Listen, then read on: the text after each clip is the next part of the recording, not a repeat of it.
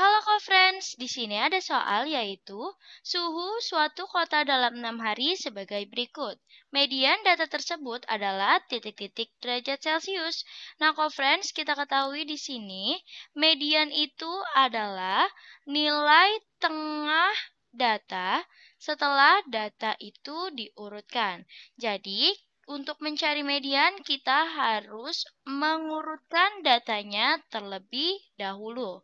Nah, sekarang berarti sudah kita ketahui pengertian dari median adalah nilai tengah data setelah data diurutkan. Oke friends, untuk mencari mediannya, kita harus urutkan datanya dari yang terkecil hingga terbesar.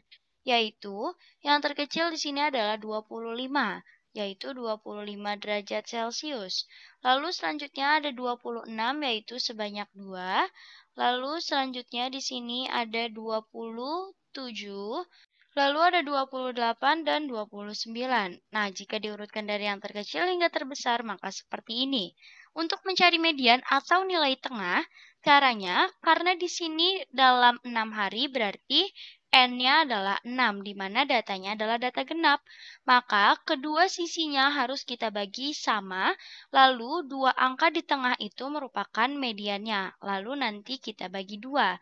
Jadi, ini data yang pertama dari kiri, ini dari kanan, lalu ini data kedua dari kiri, dan ini dari kanan. Sehingga menyisakan dua data di tengah ini. Maka, 25 dan 26 ini merupakan data yang sebelah kiri, Lalu ini merupakan data yang sebelah kanan. Karena jumlahnya sudah sama antara kanan dan kiri yaitu ada dua data, maka kita ketahui yang tengah ini adalah mediannya.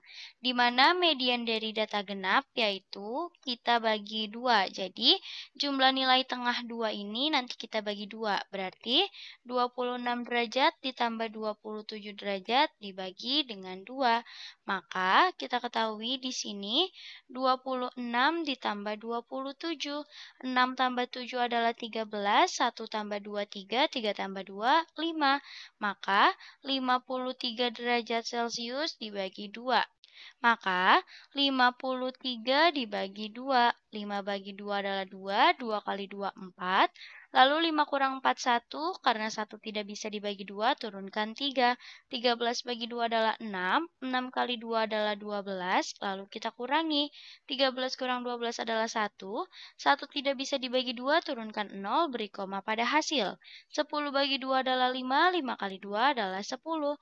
Maka kita ketahui 53 dibagi 2 adalah 26,5. Jadi kita ketahui bahwa median dari data tersebut adalah 26,5 derajat Celcius. Jawabannya adalah yang D. Nah, co-friends, soal ini sudah selesai. Mudah kan, co-friends? Tetap semangat belajar ya. Sampai jumpa di soal selanjutnya.